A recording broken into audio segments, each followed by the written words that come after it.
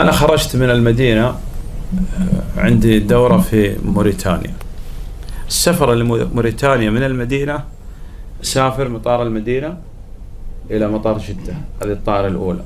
من جدة إلى المغرب هذه الطائرة الثانية. ومن المغرب الدار البيضاء إلى نواكشوط هذه الطائرة الثالثة. استغرق مع السفر 24 ساعة تقريبا. هاي يقول الله يعينك آمين. ثاني يوم اغمى علي أنا في الفندق والله من التعب وكذا وطبعا انت تقول هذا يقول ما شاء الله بطل. كان معي مجموعة في المطار.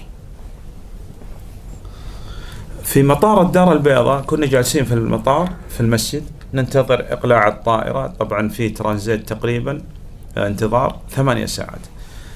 آه، أعلنوا إنه فتح باب التسجيل حتى ندخل خلاص على الطائرة. وقفنا. انتظرنا نصف ساعة تقريبا. ما تحركوا هؤلاء ولا يدخلون الطائرة. فواحد معنا قال للشباب هذول اللي معي قال اصبر تحملوا هذول غلطانين. جاء واحد قال نصبر على ماذا؟ أنا في سبيل الله. الله أكبر. الله سبحانه وتعالى يعطيني أجر على وقوفي هذا. فهمت الشيخ؟ هو يعرف عنده يقين أنه ما يفعل شيء ولا يترك شيء لله إلا ها وأعطاه الله خيرا منه. أم سلمة يا إخواننا امرأة مؤمنة. قالت عندما مات أبو سلمة تذكرت حديث النبي صلى الله عليه وسلم. ما من مسلم تصيبه مصيبة. وعندها يقين صادق.